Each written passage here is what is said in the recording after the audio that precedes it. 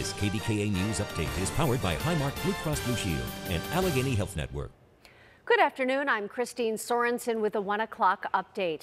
The trial for the father of the man who killed New Kensington police officer Brian Shaw is underway.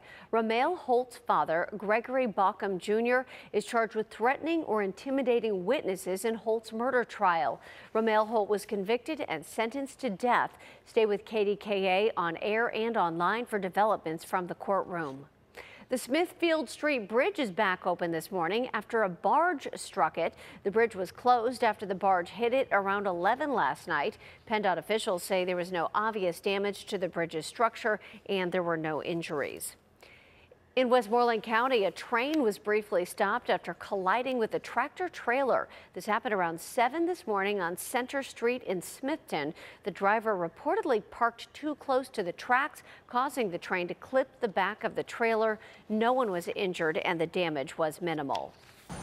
This is Lindsay Ward with KDKA News, and we're in the Strip District where we're talking to fans about the Steelers' win on Sunday against the Cleveland Browns. Many of them are thrilled with this win. They said it was such a good game.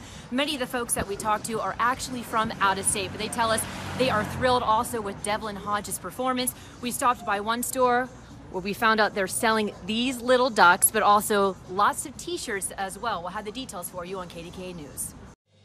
For the latest news, weather, traffic, and sports anytime, check out KDKA.com, the CBS local app, and the KDKA updates on your smart speaker.